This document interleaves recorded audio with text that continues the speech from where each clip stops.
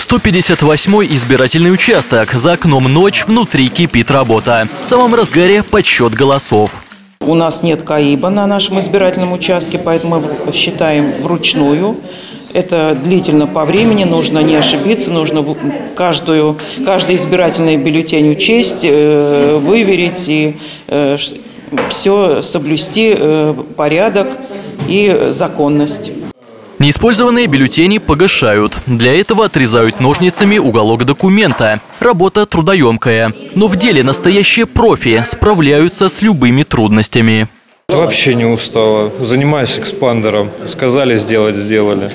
Честность и прозрачность выборов обеспечивают неравнодушные наблюдатели. Офицер запаса Петр Нечипаренко уже второй раз внимательно следит за ходом голосования. Эти выборы прошли более, будем так говорить, активнее со стороны населения.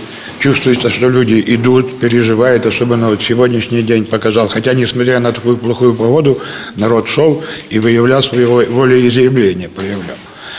Вот. Лично мое ощущение, вот уже да и моих коллег, что мы все сообща делаем важное государственное дело.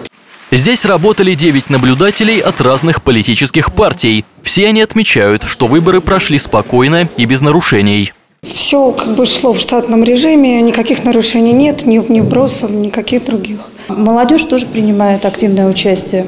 Стараются, хотят видеть в нашей стране продвижение к лучшему.